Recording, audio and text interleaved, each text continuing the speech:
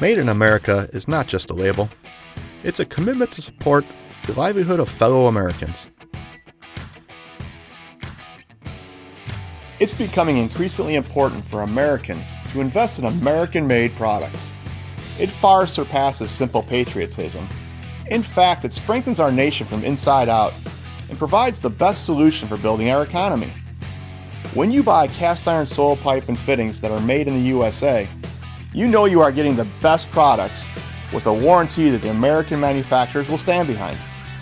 You can trust American made cast iron on every project, every time. We've seen it all. We've done it all. Learn more at CISPI.org.